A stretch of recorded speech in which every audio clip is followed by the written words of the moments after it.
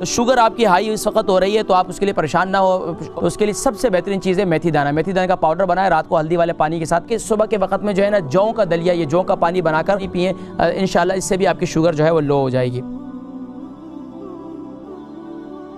السلام علیکم ورحمۃ اللہ وبرکاتہ۔ وعلیکم السلام ورحمۃ اللہ وبرکاتہ۔ جی ماشاءاللہ اقبال بیگم خیریت سے آپ ٹھیک ہیں؟ میں اس ہفتے میں بہت پریشان تھی کیونکہ یہ مسئلہ ہو گیا کہ ابھی بلڈ پریشر تو ابھی نارمل ہوتا جا رہا ہے الحمدللہ۔ جو شوگر ہے وہ اچانک جو ہے وہ نارمل سے اوپر ہو گئی ہے۔ چھ سات آٹھ تک چلی گئی ہے۔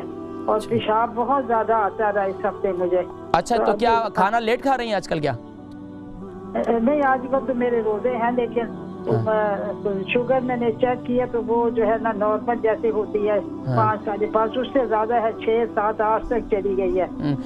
پاؤں کے تلووں میں جلن رہتی ہے درد رہتا ہے؟ نہیں اتنا وہ کچھ نہیں ہے ادھر۔ اچھا واک وغیرہ کرتی ہیں؟ واک بھی میں روزانہ کرتی ہوں۔ تھرٹی منٹس کرتی ہوں روزانہ۔ ویری گڈ ماشاء اللہ صرف مطلب شوگر جو ہے آپ کی ہائی ہوگی اس کے لیے کچھ بتا دوں اس کے لیے بتا دیجیے میں انشاءاللہ ذکر کرتا ہوں اپنی دعاؤں میں یاد رکھیں بہت بہت آتا رہا یہ پتہ نہیں اس کی وجہ سے ہو گیا یہ ہاں نہیں نہیں جب شوگر بڑھتی ہے تو پیشاب پھر زیادہ آتا ہے۔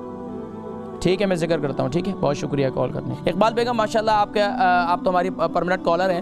تو شوگر آپ کی ہائی اس وقت ہو رہی ہے، تو آپ اس کے لیے پریشان نہ ہو ہائی ہونے کی وجہ سے ہی آپ کو پیشاب زیادہ آ رہا ہے۔ تو اس کے لیے سب سے بہترین چیز ہے میتھی دانہ۔ میتھی دانے کا پاؤڈر بنائیں، رات کو ہلدی والے پانی کے ساتھ میتھی دانے کا پاؤڈر لے لیں۔ اس کو کنٹینیوسلی استعمال کریں۔ اس کے علاوہ اگر شوگر بہت زیادہ ہائی ہو رہی ہے، تو دوسرا طریقہ یہ ہے کہ آپ کیا کریں، بھنڈی ہے بھنڈی کاٹ لیں، چھوٹی چھوٹی بھنڈیاں کے پیسز کر لیں، اس کو ایک پانی کے گلاس میں ڈال کے رکھ دیں اور رات پورا پڑ رہے ہیں صبح اٹھ کر اس کا وہ پانی پینے، اللہ کے حکم سے انشاءاللہ العزیز یہ اس سے کافی بہتر ہو جائے گا۔